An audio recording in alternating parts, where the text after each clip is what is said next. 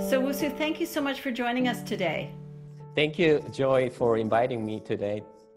I've been hearing a lot about the development of uh, personal protective equipment or PPE. And I understand that your lab is doing some work in that area. So I'm wondering if you can tell me a little bit about the work you're doing related to COVID 19. Right. So my research lab is tackling engineering challenges in the world using 3D printing technologies. So examples are 3D printed biomedical sensors, 3D printed energy storage devices, or 3D printed sensing robots, etc. So right after uh, the widest spread of COVID-19 in Canada, I carefully thought of how to help people in need together with my grad students. As a 3D printing researcher and manufacturing expert, I really like to design and manufacture items to help uh, for those in needs.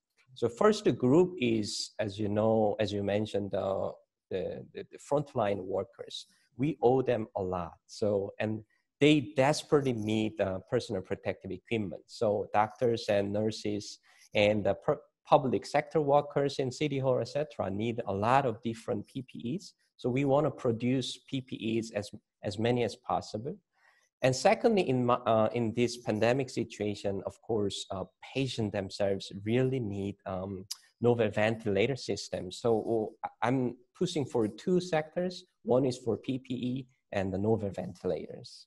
Okay, so let's start with PPE. PPEs uh, in terms of face shield, in terms of ear saver, in terms of door handle, etc. Uh, there are many things in need. So, for example, these are the examples of ear saver. We produced about 500. Ear saver. Ear saver means a mask, face mask uh, strap. So face mask has a, a ring here, right? So yeah. uh, many uh, frontline workers suffer about their back ear here. So we want to oh, make right, these it would, oh, like, okay. like these, right? And then ear, ear ring can be held here. So we produce about 500 of these ear saver to Vancouver General Hospitals. And uh, this is the example of door handle. So when we have a door in uh, handle, we need to touch and then uh, twist it to open push, right?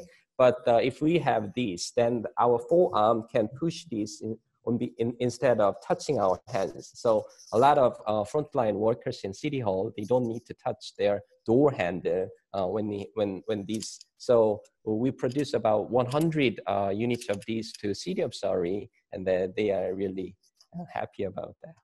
So that's fascinating. These are the little things that we often don't think about, right? You know, um, how, for example, a mask might, over the course of wearing a mask for many days, irritate one's ears. And, and so, um, who's using the ear savers? I'm curious. Oh, doctors and nurses, especially. Uh, I got a request from one of my collaborators in the VGH nurse specialist, um, and uh, the uh, ICU unit uh, nurses using this too. So and you're printing them in your lab, are you? Oh, it's an interesting point. So at the end of March, before the exemption, my lab is closed. Of, of course, all the labs in SFU closed. So we thought about how we can produce these. And interesting thing is collective efforts with uh, students. So as you may guess, uh, engineers, hobbyists, students, they have their own printers at home. So mm-hmm. I just spread the words to my students. If there's anyone has a printer, please, please help us together. So about six students produce that the 500 units together at home. So you're harvesting basically these uh, using 3D printers in students' homes and in other people's homes. It's amazing. That's really incredible. That's really inspiring. So tell me about ventilators. I know we've been hearing a lot that um, patients with serious COVID 19 symptoms often need to be put on ventilators. And there's been a lot of concern that there's been uh, that there's a shortage. So what are you doing in that regard? We need to follow the medical regulation to produce some ventilators, of course. But in terms of R&D stage, uh, I'm looking at the situation that the ventilation system is lacking in pandemic. In that situation, we really like to produce a portable, small size ventilator. So one of the interesting part uh, we are working on is 3D origami. So origami is actually uh, foldable. Like Japanese origami, folding. That's right. That's right. Okay. So uh, from the two dimensional, let's say it can be wrapped as a 3D tube, and then it can uh, contract uh, and then release repeatedly. So we want to develop uh, 3D durable origami tube, which is ventilate, ventilators air tube. So we recently proposed this uh, NSERC Alliance COVID-19 uh, program by using this. So we want to develop the novel uh, ventilator air tube from the origami uh, design. That is absolutely fascinating, Woo-Soo. So, are you collaborating with researchers around the world on this and learning from others, or how is that working? Oh, yeah, that's a good question. So, the van, in terms of ventilator, I'm working with uh, VGH. So, Vancouver General Hospital, of course, is Dr. Lillian Hung, a nurse specialist in UBC assistant professor. And she has a collaborator in respiratory therapist, Ingrid in uh, VGH. So yeah. we are a group together, working together with a project. That's amazing. You know, it's so impressive to me. I mean, here you are, an engineer, um, collaborating with a nurse and a respiratory therapist together, trying to figure out how to solve this really important problem. So, congratulations. That's really interesting. Thank you. So, on a timeline, like, I'm kind of curious. Uh, I know something like this might take a long time to design, but what's your hope uh, in terms of the ventilators? Right. In terms of ventilator, um, this uh, proposed project is actually one year long, but uh, we want to make, let's say, the six months and six months. So first to six months, we want to design and fabricate few prototypes, and then we can get a feedback from respiratory ther- therapist of, of, the VGH, and then based on that uh, feedback, in second uh, six months, we want to uh, improve and then implement into the technology. Okay, interesting. So, Woo-Soo, I understand you're on the Surrey campus right now and things are pretty empty there.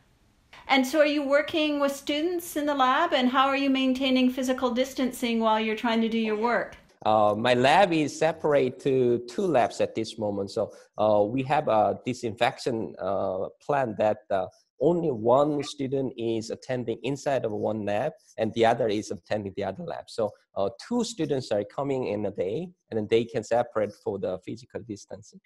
Yeah, that's so interesting because I mean, it's complex enough doing this research, but then under these conditions as well, right? Trying to uh, manage, um, you know, making sure that we don't put our own researchers at risk. So good for you. That's amazing. Woo-Soo, how do you think your research is going to ultimately make a difference? What are you hoping for? What's really intriguing to me nowadays is how this 3D printing is going to change whole manufacturing concepts in a sustainable way and uh, directly applicable to biomedical sectors. So I'm considering mostly two engineering challenges and biomedical challenges in my research program. Number one is designing novel architecture materials that uh, design functional biomedical applications. And number two is making novel 3D printing platform technologies that can produce smart uh, biomedical systems. So these questions deeply involve both fundamentals and practical applications. So understanding on fundamentals of 3D printing together with the cutting edge uh, biomedical trends of 3D printing. So uh, by collaborating with the global experts and the relevant experts in different uh, fields, uh, together with relevant industrial partners, I hope uh, my research will make a difference for um, out-of-box type and the bold ideas. That's wonderful, Woo-Soo. Well, thank you very much. I'm I'm act, I'm really inspired. You could, uh, you know, you really are the embodiment of the engaged university, uh, working with community members, with the city, with clinicians, making a difference in the world. Um, so, congratulations on your work. Um, uh, I've really enjoyed speaking with you today. You know, so often when we think about COVID 19 research, we think about health researchers, um, biomedical researchers, and the engineers. They, they really can make a difference for us, and it's so great to focus on your work. Yeah, I mean, all, I always uh, ask my students we need to give back to society. How? That's the question starting from. That's wonderful. That's wonderful. So you're a real inspiration. Thank you so much. Thank you, Joy.